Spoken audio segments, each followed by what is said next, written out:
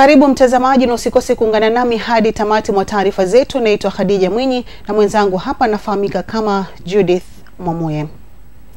Na mtazamaji, upande wa pili wa studio, Haji Ramadhan yuko na mgeni ambaye ni Yusuf Lule, ambao wanajadili kuhusu namna tuktuk zinavyotumiwa kutekeleza uhalifu siku hizi katika kaunti ya Mombasa. Tutakuwa tunaungana nao mwisho wa taarifa zetu.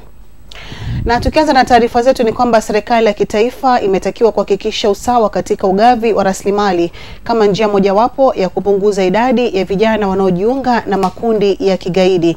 Amesemwa wakati wa maandamano ya muungano wa wanafunzi wa vyuo vikuu na taasisi za mafunzo ya anuai ili kupinga misimamo mikali ya kigaidi. Mwanahabari wetu Esther Paul na taarifa zaidi.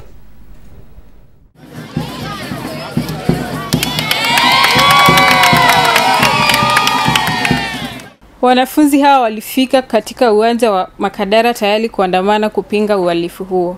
Waziri wa Jinsia, Michezo na Vijana katika kaunti ya Mombasa, Mohamed Abbas, amesema ukosefu wa ajira bado ni changamoto kuu linalopelekea vijana wengi kuhadaiwa kujiunga na vikundi vya kigaidi kwa sababu watoto wetu hawana makazi. Watoto wetu unavyoona wanasoma, wako ma universities, na kila leo kuna universities nyingi zaidi zinafunguliwa ndani ya Mombasa, lakini opportunities zao wakisha kumaliza, hakuna makazi, hakuna kitu ambacho wao wanaweza kutegemea kuangalia ile maisha yao mbeleni, ama future yao imekuwa set.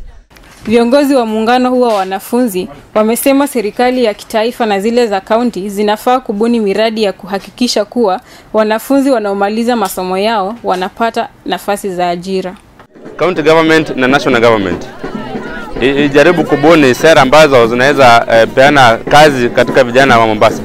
Maanake hawa vijana ambao wanakuwa radicalized na kuwa extremist is because of lack of opportunities, lack of jobs.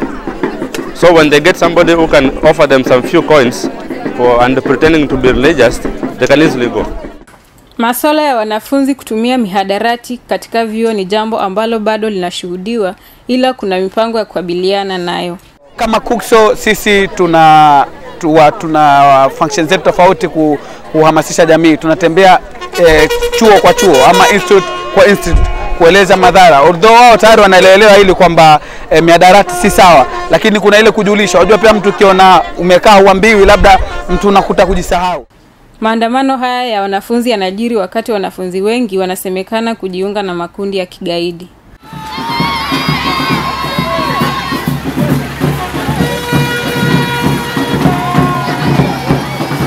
Nikiripotia habari za Mwambao, mimi ni Esther Paul.